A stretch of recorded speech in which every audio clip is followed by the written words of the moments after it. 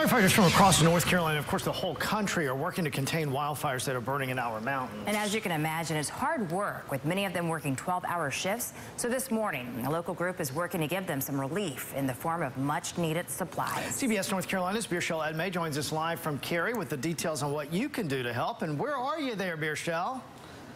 Good morning. Well, I'm here at a cafe, certainly ready to eat up as we're here in Cary. But let's talk about what's important here, and that is the wildfires. You all have mentioned it earlier, and how much it really is taking a toll on many of our western counties. But there are businesses throughout our region who are stepping up to help, and that includes Barry's Cafe right here in Cary. They have been asking for donations, but it's certainly not the first time that they have been stepping up to assist our first responders.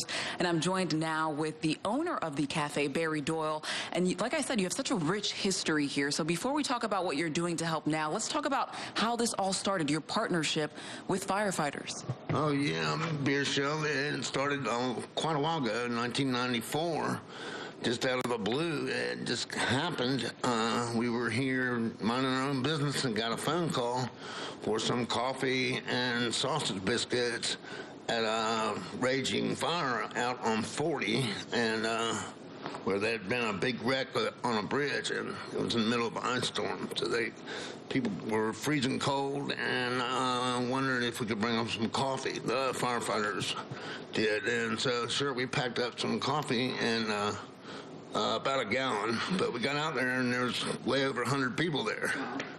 And that coffee didn't last very long. and from there, you certainly came back and assisted some more. And once again, you're getting the call to help our first responders. So talk to me about how that went and what role you're going to be playing for those who are out in our western counties. Okay, uh, sure. Uh, yeah, the people all over the state have, or all over the world, actually, we have stuff from 30, 30 23 countries in our cafe, so people from everywhere have heard about what we do.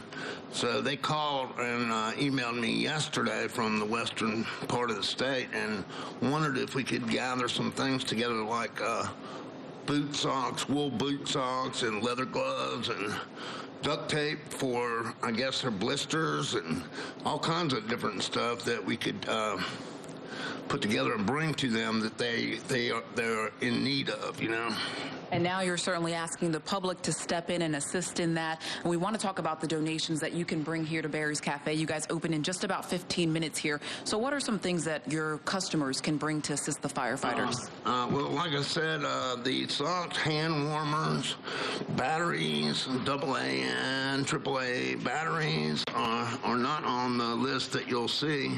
Um, lots more stuff, hand sanitizer, lip balm, eardrops, all uh, just a, a, large amount of different things. Protein bars, um, bandanas, moleskin, um, work gloves, like I said, wipes, foot powder, hand, and hand sanitizer. I guess I already said that. So just a lot of different resources that'll help our first responders as they're trying to battle the raging fires out there.